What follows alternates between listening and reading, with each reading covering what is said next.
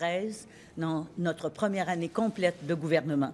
Il s'est créé au Québec 47 000 emplois.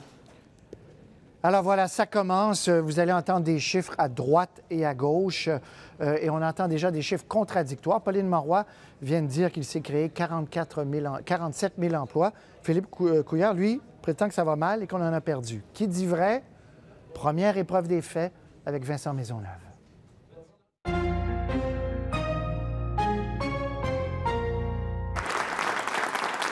La chef du PQ soutient qu'un nombre record de Québécois occupe actuellement un emploi.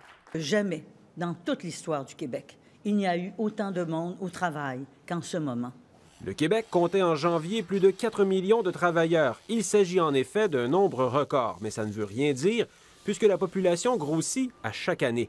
Pour vérifier si l'affirmation de la chef du PQ est vraie, nous avons, à la suggestion d'économistes, calculé la proportion de travailleurs par rapport à la population âgée de 15 à 64 ans.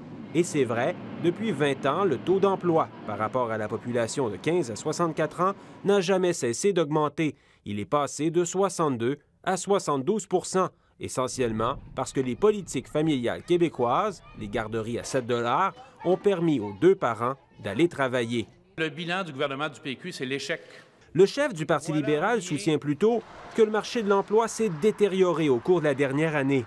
L'emploi, on a perdu 67 000 jobs à temps plein l'an dernier. C'est vrai, le Québec a en effet perdu 66 800 emplois à temps plein contre une création de 76 800 postes à temps partiel. Bref, depuis un an au Québec, la croissance de l'emploi repose uniquement sur le travail à temps partiel.